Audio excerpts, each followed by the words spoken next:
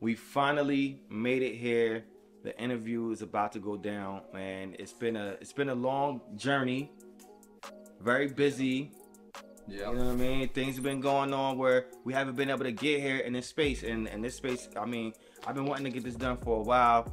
Um, hey, my We Brand family, I'm gonna let this guy introduce himself to you all, and we're gonna get right into it today. You already know what time it is. Your guy, Steezo, the CEO, right here at We Brand, and this is the photography experience. What's going on, y'all? My name is Eddie Platt. I am an Atlanta native caricature artist and illustrator. Uh, been doing art for a long time. I mean, I've been drawing since I was like four years old, but as far as the professional art thing, I've been a caricature artist for six years.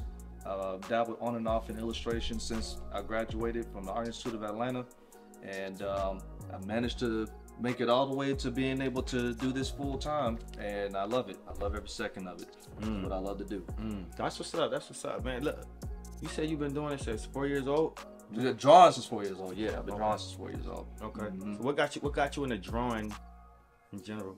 I mean, I'm not really sure exactly what got me into it in general, but I just remember, you know, sitting in uh, kindergarten, drawing the assignments and stuff like Right. that. Teachers was always praising how good the drawings were and Right, stuff. right, right. Next thing you know, I'm in third grade and I'm drawing, you know, my favorite video game characters and comic book characters in class instead of paying attention to class. right. You know what I mean? Typical us creatives. yeah, exactly. And and it just continued on from there. And you know, from I want to say that point on, I, I knew I wanted to pursue the arts somehow. I didn't know how I was going to do it at that time because I was you know, Right, right, right. grade. But you know what I mean? For sure.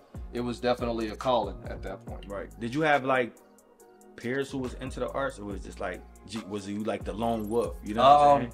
My parents weren't into the arts per se, um, but I do have you know creatives in my family. Mhm. Um, I do have you know some family members aside from myself who were in the arts and stuff. There were more extended family. Mm-hmm. Um, I did do a lot of um, art projects and stuff like that with some of my cousins around the time. You know, Right. there was some cousins that I had who also were into drawing and stuff, and they fell out of it, you know, because they had other stuff going on in their lives. But that was motivation for me to keep going. And um, you know, my grandfather actually um, was a uh, carpenter.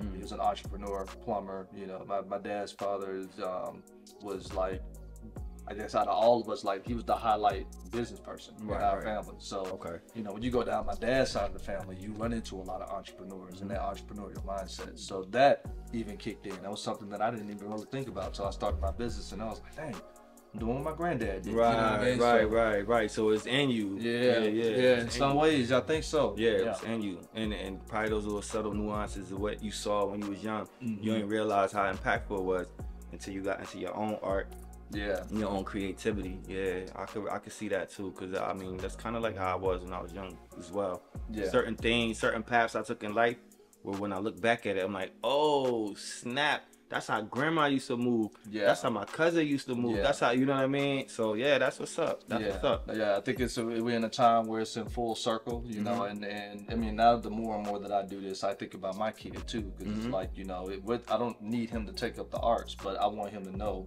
Mhm. that there's an entrepreneurial spirit and entrepreneurial Yeah. in our family, Right. You know? So that way, whatever Right. he wants to go do, he can do his own thing, and I think that's the importance of creativity in general, whether it's about you know being a visual artist, being a photographer, you know, being a musician, you know, any outlet of creative expression. That's that's what allows us to build our own and solve, you know, problems within our Mhm. media culture, within our communities, and you know, get into the bigger worldview. You know. Right, right, for sure, for sure. That's what's up. Where, so you say you from Atlanta, Born and raised. born and raised in Atlanta. You never went anywhere else. I've never lived anywhere else, but I've been to a lot of places. Right. I've definitely, um, um, especially when I started doing caricatures, I traveled all over the East Coast and the Midwest. Mhm. Uh, so I got the chance to be in different cities, and I wasn't there as a tourist. I was there as a worker. Oh, so I okay, got to experience the culture Right, of being in these different places as if I lived there because I was right. working in that town and I was interacting with people from that working standpoint. It changes things a lot. right,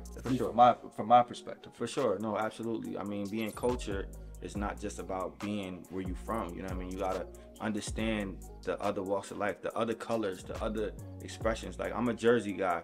When I moved to Florida, the sky is different. Yes. The the water is different. Yeah. The way people dress are different. You know Yeah. what I mean? So now my experiences are different. You ever been like I don't mean Midwest like the easy state like Texas. You ever been like the Great Plains, like the real Great Plains? No, not moving around. The most I've the most I've done West Coast is LA. You think the sky is different in Florida, bro? Like you go to like Kansas or Right. Dakotas. Oh yeah, I hear. I Man, hear. the sky is like the ceiling. It's like right. It's that low. It's just it's Mm. so wide open. There's there's nothing. There's nothing. Wow. It's just land and sky, and Wow. that's it. And the sky sits so low, it's almost like you can reach up and just touch the clouds. Wow. It's different.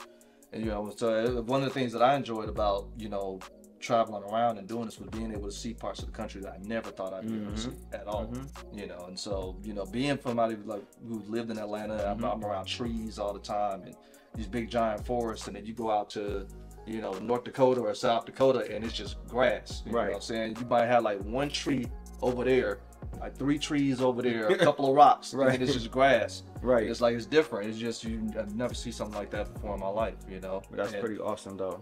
Pretty yeah, awesome. yeah. and You meet people out there who, um, you know, I've met people in, in those states who've never seen water. You know, like the ocean. Right, You know right, right. That's So- true. That's true when you think about it. You Yeah. get to those mountains, those type of areas. You know what I mean? Like you're right. You're absolutely right. Yeah, In fact, it's it's like super crazy when you're going through like certain places like Tennessee and different, and you start seeing water coming out the side of the mountains and water Yeah. coming out. You're like, dang, like where I'm from, you don't see nothing like that. You know what I mean? So, yeah, you know that's, and I bet that adds to like your art and you know your presentation of art. You know what I mean? Because you see things differently. yeah. Oh But yeah. you come from an art city though, which Mhm. people don't realize that Atlanta is very much an art city. I think that's definitely changed over the years. I mean, I saw an article uh, maybe last year ago that said this was the most creative city now in the country. You Mm. know, in terms of uh, being able to foster creativity, to, to Right. build a creative practice, to practice creativity just in general. Right. You know, Atlanta's really come a long way. Because when I was a kid, um, and when I was growing up into you know the college days and stuff like that,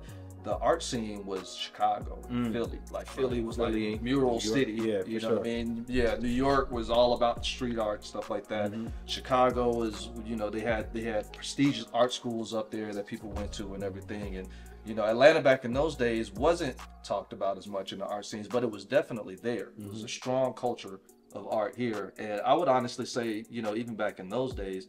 I feel like Atlanta was probably a lot more tight knit in the art scene than it is now, you Mm. know, because it was such a small scene. So it was Right. real easy to meet a lot of figures who were very influential Mhm. in Atlanta scene, you know, back then, because they were hanging out at coffee shops and Right. organizing like sketchbook meetings and stuff Right. like that. And Which I've never heard of. yeah, yeah, people used to have sketchbook meetings. They used to have. um there was this one place. It's still uh, a place called Apache Cafe, but it's, it's different. It's not where it used to be. It used to be behind the varsity.